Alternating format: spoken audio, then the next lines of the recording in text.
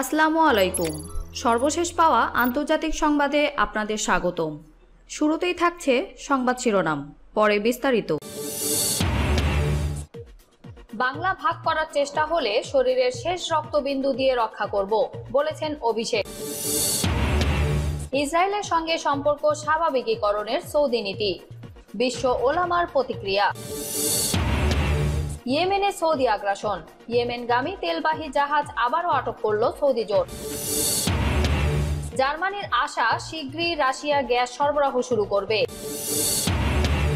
এবং সর্বশেষ থাকছে, ইউক্রেনে মার্কিন নির্মিত হারপুন ক্ষেপণাস্ত্র লঞ্চার ধ্বংস করল রাশিয়া। রাশিয়া ইউক্রেনের মধ্যে চলছে তুমুল সংঘর্ষ।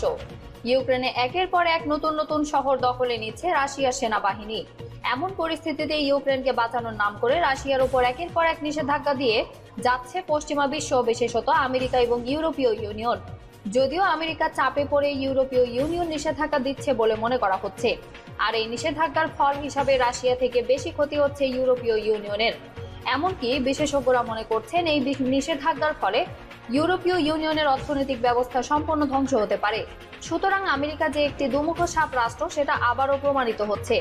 আমেরিকার কারণে এই পৃথিবীতে যত অশান্তি, মধ্যপ্রাচ্যে অশান্তি, এশিয়াতে অশান্তি, ইউরোপেও অশান্তি, অশান্তের মূলে রয়েছে এই আমেরিকা। আমেরিকা মূলত নিজেদের স্বার্থ চরিতার্থ করার জন্য, নিজেদের অস্ত্র বিক্রি বৃদ্ধি করার জন্যই এই সমস্ত কুটচাল সবসময় দিয়ে আসছে। আমি মনে করি ইউরোপীয় ইউনিয়নের উচিত আমেরিকার তাবেদারি বন্ধ করে নিজেদের স্বাধীনভাবে চলার অধিকার নিশ্চিত করা। এ বিষয়ে আপনারা কি মনে করেন? অবশ্যই আপনারা আপনাদের মূল্যবান মতামত কমেন্টে জানাবেন। এবং আপনারা কোন জায়গা থেকে এই ভিডিওটি দেখছেন বা শুনছেন, অবশ্যই সেটা কমেন্ট করে জানিয়ে যাবেন। আন্তর্জাতিক সংবাদ সবার আগে পেতে আমাদের চ্যানেলটি সাবস্ক্রাইব করে পাশে থাকা বেল বাটনটি অন করে দিন এবং এই ভিডিওটিতে একটা লাইক দিয়ে ভিডিওটি শেয়ার করে দিন আপনার পরিচিতদের মাঝে। বাংলা ভাগ করার চেষ্টা হলে শরীরের শেষ রক্তবিন্দু দিয়ে রক্ষা করব, বলেছেন অভিষেক। সর্বভারতীয় তৃণমূল কংগ্রেসের সাধারণ সম্পাদক অভিষেক বন্দ্যোপাধ্যায় বলেছেন, যদি কেউ বাংলা ভাগ করার চেষ্টা করে, তাহলে শরীরের শেষ রক্তবিন্দু দিয়ে বাংলাকে রক্ষা করব। বাংলাকে ভাগ হতে দেব না। তিনি মঙ্গলবার ধূপগুড়ি পৌর ফুটবল ময়দানে এক জনসভায় বক্তব্য রাখার সময়ে ওই মন্তব্য করেন। অভিষেক বলেন, উত্তরবঙ্গ বলে কোনো শব্দ নেই থেকে তৃণমূলের অভিধানে উত্তরবঙ্গ কথা মুছে গেছে।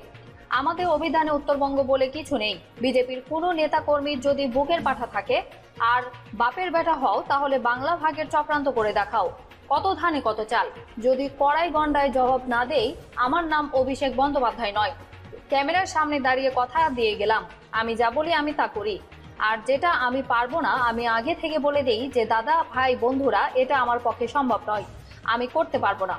বিজেপিকে টার্গেট করে তিনি বলেন, বিজেপি বলেছিল বছরে দু কোটি বেকারের চাকরি দেব। হয়েছে। বলেছিল রান্নার গ্যাসের দাম কমবে, কমেছে। বলেছিল পেট্রোল, ডিজেলের দাম কমবে, কমেছে। বলেছিল কেরোসিনের দাম কমবে, কমেছে। বলেছিল, নোটবন্দি করে কালো টাকা ধ্বংস করব হয়েছে। কেন্দ্রীয় সরকারের পক্ষ থেকে একশো দিনের কাজের প্রকল্পের টাকা আটকে দেওয়ার তীব্র সমালোচনা করেন অভিষেক বন্দ্যোপাধ্যায়। তিনি বলেন প্রধানমন্ত্রীর ইগো প্রধানমন্ত্রীর দম্ভ বাংলার দশ কোটি মানুষের থেকে বেশি। বিজেপির নেতারা বলেছেন, আমরা তো টাকা বন্ধ করে দিয়েছি। মমতা বন্দ্যোপাধ্যায় যতদিন বেঁচে আছেন, তোমার টাকাও লাগবে না। তোমার প্রকল্পের নামও লাগবে না। মমতা বন্দ্যোপাধ্যায় নিজে করে দেখাবেন। তিনি বলেন, দিল্লি কবে টাকা দেবে সেই ভরসায় বাংলার মানুষ হাত পেতে নেই। কিসের দিল্লির টাকা? এই টাকা বাংলা থেকে তুলে নিয়ে যাওয়া হচ্ছে। এটা দিল্লি গুজরাটের টাকা নয়। একশো দিনের কাজে নয় হাজার কোটি টাকা আটকে রেখে দিয়ে দিয়েছে কেন্দ্রীয় সরকার। বাংলা আবাস যোজনার প্রায় আট হাজার কোটি টাকা আটকে রেখে দিয়েছে। প্রধানমন্ত্রী গ্রাম সড়ক যোজনার প্রায় পাঁচ হাজার কোটি টাকার বেশি আটকে রেখে দিয়েছে। কিন্তু বাংলা থেকে প্রত্যেক মাসে হাজার হাজার কোটি টাকা তুলে নিয়ে যাচ্ছে ইনকাম ট্যাক্সের নাম করে। জিএসটির নাম করে অমুক ট্যাক্স তমুক ট্যাক্সের নামে।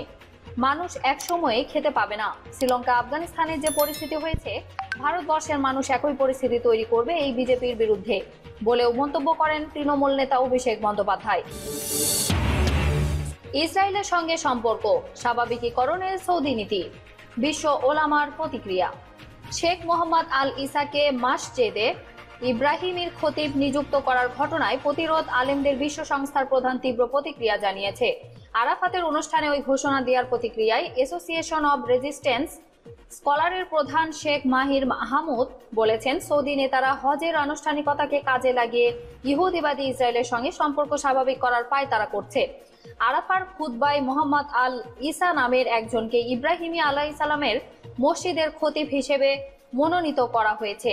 আল ইসা ইসরায়েলের সঙ্গে সম্পর্ক স্বাভাবিক করার পক্ষের একজন প্রচারক।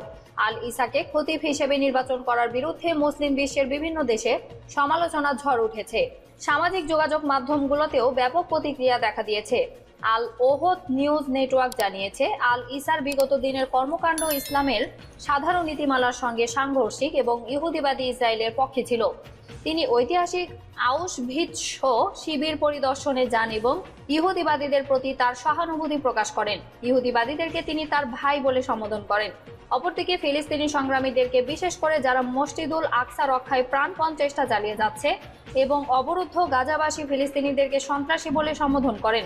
ইসরায়েলি সেনাদের গুলিতে ফিলিস্তিনিদের রক্ত ঝরানোকে তিনি মোবাহ মনে করেন। এমনকি ক্ষুধা তৃষ্ণায় তাদের মরে যাওয়ার ঘটনা, তাদের উপর ইহুদিবাদী সেনাদের বোমা বর্ষণের ঘটনাকে স্বাগত জানান। শেখ হামুদ বলেন, সৌদি প্রিন্স মোহাম্মদ বিন সালমানের নেতৃত্বাধীন রিয়াদের কর্মকর্তারা মুসলিম বিশ্বের আলেমদের বিরোধিতাকে না দেখার ভান করছেন।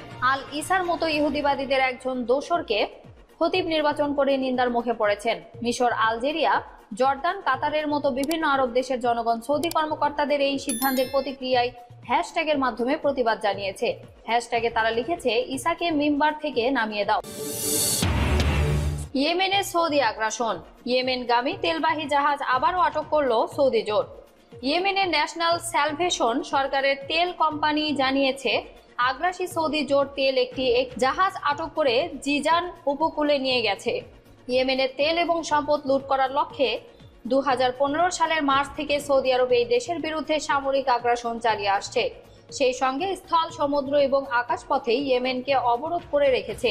সাবুয়া সহ ইয়েমেনের বিভিন্ন প্রদেশের অধিবাসীরা যে মুহূর্তে তেল ও জ্বালানি সংকটে ভুগছে, সে সময় তাদের হাজার হাজার টন অপরিশোধিত তেল চুরি হয়ে যাচ্ছে। আল মাসিরা নিউজ চ্যানেল জানিয়েছে, ইয়েমেনের তেল কোম্পানি বলেছে, আটককৃত তেল জাহাজটি পরীক্ষা নিরীক্ষা করা হয়েছে এবং জাতিসংঘ থেকে প্রয়োজনীয় সনদপত্র নেওয়া হয়েছে। তারপরও উনত্রিশ হাজার টন তেল পরিবাহী জাহাজটি আটক করে সৌদি জোট। কদিন আগেও ইয়েমেনের তেল কোম্পানি বলেছিল, সৌদি আমিরাত জোট যুদ্ধবিরতি লঙ্ঘন করে জাতিসংঘের সনদ থাকা সত্ত্বেও হুদাইদিয়া বন্দর থেকে তেলবাহী একটি জাহাজ আটক করেছে। সৌদি জোট প্রায় যুদ্ধবিরতি লঙ্ঘন করে আসছে। তা সত্ত্বেও জাতিসংঘের মধ্যস্থতায় মাসখানেক আগে আরও দুই মাসের জন্য নবায়ন করা হয়েছে যুদ্ধবিরতির মেয়াদ। জার্মানির আশা শীঘ্রই রাশিয়া গ্যাস সরবরাহ শুরু করবে। জার্মানির অর্থমন্ত্রী ও ভাই চ্যান্সেলর রবার্ট হাবেক বলেছেন নর্থ স্ট্রিম ওয়ান পাইপলাইনের মাধ্যমে রাশিয়া শীঘ্রই আবার গ্যাস সরবরাহ শুরু করবে বলে তিনি আশা করছেন। সোমবার রাশিয়া রক্ষণাবেক্ষণের জন্য দশ দিন এই পাইপলাইন দিয়ে গ্যাস সরবরাহ বন্ধ রাখার ঘোষণা দিয়েছে। তারপর থেকে জার্মানি সহ ইউরোপ জুড়ে ভীতি ছড়িয়ে পড়েছে যে রাশিয়া হয়তো এই পাইপলাইন আর চালু নাও করতে পারে।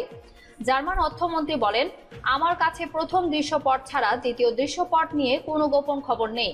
তিনি এই কথার মধ্য দিয়ে রাশিয়ার গ্যাস পাইপলাইন রক্ষণাবেক্ষণ ও তা আবার চালু করার কথাই বলেছেন। মন্ত্রী হাবেগের তথ্য মতে আসন্ন শরৎ ও শীত মৌসুমে গ্যাসের স্বল্পতা নিয়ে জার্মানিতে মারাত্মক উদ্বেগ রয়েছে। তিনি সুস্পষ্ট করে বলেছেন, যদি বাজারে গ্যাস পাওয়া অসম্ভব হয়ে ওঠে, তাহলে আমাদের গ্যাসের ব্যবহার কমানো উচিত। সোমবার রাশিয়ার প্রধান gas company Gazprom North Stream one পাইপলাইনে gas সরবরাহ বন্ধ করে দেয়। বার্ষিক রক্ষণাবেক্ষণ কর্মসূচির আওতায় এই সিদ্ধান্ত নেওয়া হয়েছে। আগামী একুশ জুলাই রক্ষণাবেক্ষণের কাজ শেষ হওয়ার কথা।